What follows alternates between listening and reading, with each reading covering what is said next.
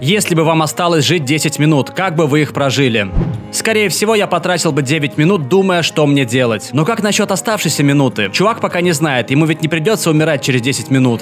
Заварю чая, выйду на балкон, чтобы вид был получше, и буду в тишине пить чаек. Так придется 10 минут ждать, пока он остынет, и его можно будет пить. Когда ты умрешь, тебе будет плевать на ожог языка.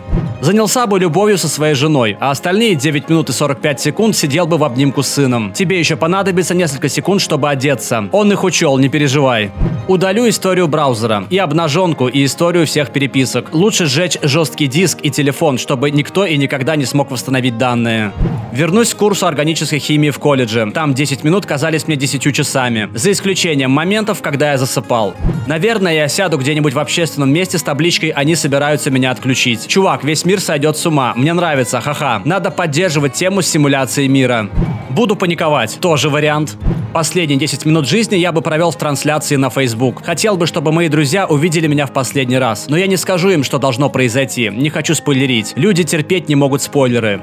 Съем огромное количество шоколада. К черту диету. Собираюсь обдолбаться сахаром. Причина смерти – сахарный передоз.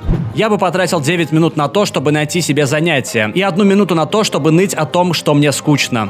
Я бы схватил какую-нибудь рандомную вещь и рванул бы в какое-нибудь дико странное место. Пусть случившееся будет для всех реальной загадкой. Ага, умру голый на кукурузном поле в шляпе ведьмы, а вокруг будет валяться дюжина разможженных дынь и, само собой, свечи. Посреди поля в одних лишь носках и шапочке из фольги. А на спине у меня краской будет написано «Мы пришли с миром». А еще я проглочу столько шарика подшипников, сколько смогу за 9 минут. И да начнется хаос. А при чем тут шарика подшипники? Именно. Убью себя сам. Я очень нетерпеливый и ненавижу ждать. У нас тут человек, который привык все делать на своих условиях. Разослал бы сообщение, в котором было бы написано, что если получатель не перешлет его дальше, то я умру. Я бы написал в Твиттере, что правительство пытается убить меня, потому что я знаю, где они держат Харамбе. И что он жив, а еще что он русский шпион. Примечание. Харамба – Самец. гориллы, ставший известным благодаря нападению на ребенка 28 мая 2016 года в зоопарке Цинциннати. Тогда трехлетний ребенок упал в вольер с гориллами, где, по свидетельствам очевидцев, Харамба схватил его за ногу и стал таскать из угла в угол. Опасаясь за жизнь ребенка, сотрудники зоопарка застрелили гориллу. Инцидент, снятый на видео, вызвал бурную реакцию и широкое обсуждение о том, стоило ли убивать животное. Как-то раз малыш Тимми узнал страшный секрет. Он в Пентагон написал, написал в Госсовет. «Я узнал гнусный факт», — докладывал Тим. «Печальную правду судьбы. Катастрофы и горе и прочее с ним. В общем, встанете вы на дыбы. И пусть будет в курсе весь интернет». Тим сделал последний свой вдох. Но Путин тихонько сказал «Ну уж нет». И Тимми не стало. Малыш Тимми сдох. Наверное, просто потискаю свою кошку. Да, улеглась бы с кучей лакомств и провела бы с ней все 10 минут. Потом, когда у кошки закончатся все эти лакомства, она в течение месяца будет лакомиться твоим телом. Так будет продолжаться, пока вас, наконец, не обнаружит ничего не подозревающий домушник. Тогда миссис Типс будет подвергнута эвтаназии за то, что она вкусила человеческую плоть. Тебе бы детские сказки писать.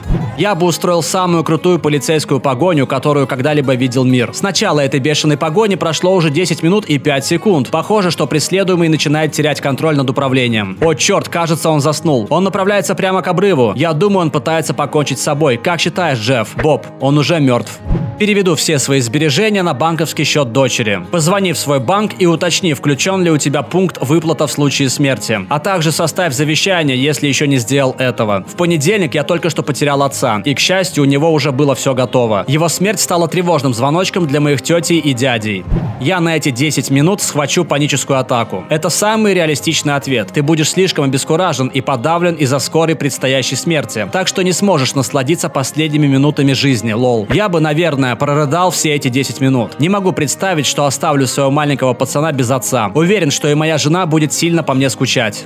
Передерну. Да, но что ты будешь делать с остальными 9 минутами и 57 секундами? Передерну еще раз. Как-то раз мой кузен Уолтер решил передернуть в общественном месте. Это реальная история. Он летел в Нью-Мексико, как вдруг у самолета отказала гидравлика. Самолет начало бросать из стороны в сторону. Он вышел из-под контроля. И Уолтер решил, что все кончено. Он достал своего удава и начал его душить прямо там. Тогда все остальные люди взяли с него пример и начали делать то же самое. И вот все пассажиры самолета, падая в бездну, яростно передергивают. Как вдруг щелк, вновь включается гидравлика. Самолет выравнивается, а затем благополучно приземляется. Пассажиры достают свои вещи, собираются и сходят с борта. После После чего никто никогда не вспоминает и не рассказывает об этом случае. Цитата из фильма «Лоботрясы».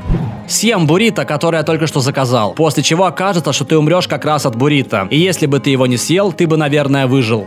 Найду способ, как вовлечь в это кого-то другого. Буду пить кофе и перед самой смертью скажу, хм, какой-то странный вкус, и тут же умру. Вот же я подпорчу день кому-то. Или за три секунды до смерти сказать, я сейчас умру, пожалуйста, помни меня за вот это. И отдать распечатанную фотографию Рика Эстли, а затем умереть. Я возьму рандомную флешку, подбегу к кому-нибудь на улице и выкрикну, мы не смогли его сдержать, пожалуйста, передай это доктору Зувалке в ЦКЗ, Центр по контролю заболеваний. Она единственная, кто может его остановить. Она работает по секретному протоколу, так что ты не сможешь нигде найти ее по имени. Но она живет по адресу, и тут я падаю замертво, без видимой на то причины. Затем весь мир начнет сходить с ума, пока кто-нибудь наконец не решит посмотреть, что же на самом деле находится на этой флешке. А там окажется какая-то рандомная фигня типа музыки и фильмов, либо она вообще будет пустой. Несомненно, на ней должен быть рекролл Рика Эстли. Вздремну, наверное. Та же фигня. Просто прилягу и немного отдохну. Обниму свою малышку и запишу для нее голосовое письмо. А еще я обниму и поцелую на прощание своего мужа. Черт, этот вопрос взбудоражил во мне немало эмоций. Да, я об этом же подумала. Голосовое письмо отличная штука. А может вообще записать видео. Все, чего бы я хотела, это обнять своего ребенка и провести время с ним и моим мужем. В оставшиеся две минуты я бы попросила, чтобы мы вместе полежали в постели или посидели на улице. Моя первая мысль была о том, что было бы здорово взглянуть на небо, но скорее всего я бы смотрела на своего малыша и говорила ему, что мама любит его и что что он должен быть смелым и добрым. Я бы надел костюм. Хз, но я лучше умру в костюме. Понимаю тебя, во многих других комментах чуваки говорили про перепихон и дрочку, но черт возьми, я не хочу умереть голым. Скорее всего, как обычно, потрачу это время впустую. Некоторые ребята уже говорили об этом, но по какой-то причине именно твоя формулировка задела меня за живое. Я трачу 90% своего свободного времени на всякую хуйню вроде Reddit, ТикТока и прочего говна. И делаю я это прямо сейчас. Если бы у меня оставалось 10 минут жизни, я бы даже не знал, как их потратить потому что я и сейчас не даю себе возможности понять, чего я на самом деле хочу. Выкурю всю свою траву, потому что я не хочу умирать трезвым. У меня была такая ситуация. Я отдыхал на Гавайях, как вдруг всем людям пришло сообщение о том, что на нас летят бомбы. И это не учение. Мы с женой сразу отправились на пляж. Мы шли по песку, держались за руки, благодарные за жизнь, которая у нас была. Либо это оказалась ложная тревога, либо загробная жизнь совсем не такая, какой я ее себе представлял. Пробежался бы по улице, бежал бы туда, куда я никогда раньше не бегал. Даже если бы в этот момент я находился на какой-то знакомой улице или в здании. А когда бы я устал, то сел бы в машину. Может быть, я съехал бы с дороги в лес, просто чтобы глянуть, как там. Было бы здорово ощутить последний прилив свободы и почувствовать себя исследователем, не парясь о том, что кто-то скажет тебе что-то или вызовет полицию за твое странное поведение. Я бы позвонил всем, кому только мог, чтобы сказать, что люблю их.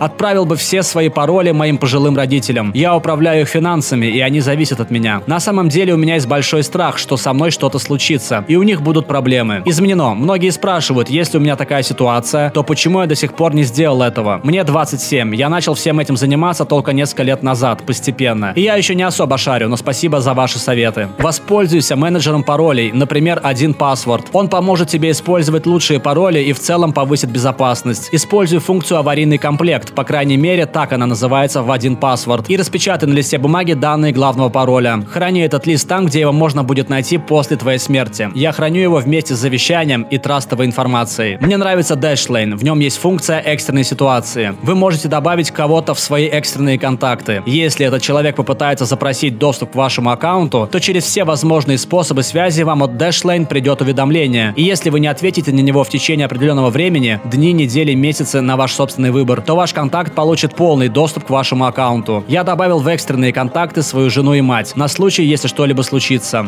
9 минут и 59 секунд я бы занимался прокрастинацией, а потом бы умер. Я мог бы стать моряком, солдатом портным. Я мог бы быть рыбаком, юристом зубным. Я мог бы стать поэтом, слугой почтальоном. Я мог бы быть бойцом, любовником, шпионом. Я мог бы хоть завтра, а мог бы хоть час. И с радостью стал бы, но уж пробил мой час. Времени нет, да срок мой иссяк. Так долго решал, что уже канул во мрак. Большое спасибо за просмотр. В комментариях под видео пишите, если бы вам осталось жить 10 минут, как бы вы их прожили. И не забудьте посмотреть наши другие выпуски. Пока.